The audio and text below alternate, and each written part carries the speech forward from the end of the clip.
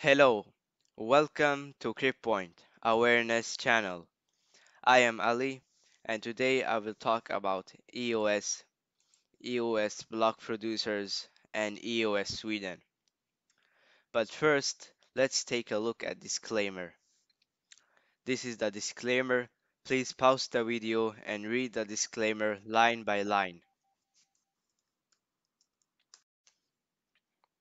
Let's talk about EOS.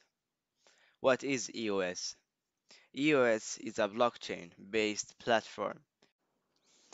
It is a decentralized system. It enables the development, hosting, and execution of the decentralized application on its platform. Let's now talk about EOS block producers. What is a block producer?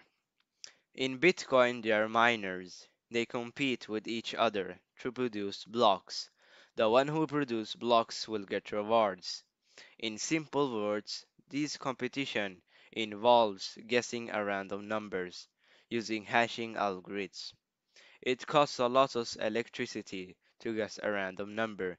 This concept is called proof of work. In EOS, miners are replaced with 21 block producers, and they don't need to guess a random number.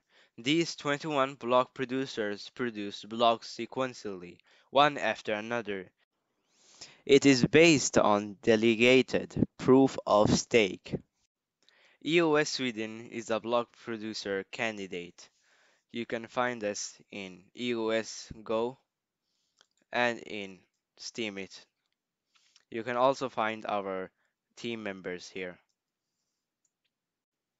Most of the block producers are now busy in launching a mainnet. It is a mess out there. There are several mainnet chains and test chains. We joined EOS community a bit late.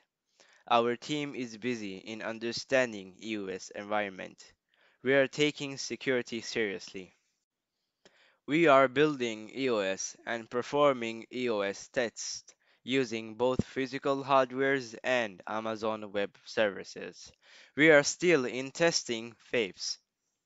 We have not yet decided for mainnet. We have great security experts in our team. They are testing EOS builds from security point of view.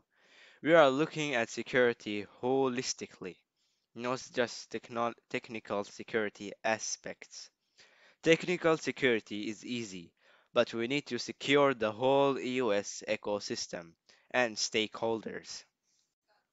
You are welcome to join us at EOS Sweden. Please note that Cornet AB is a legal entity who has applied for trademark EOS Sweden. We are thinking globally and have global visions. We support diversity, so join us and support us. That was all for today. Thank you.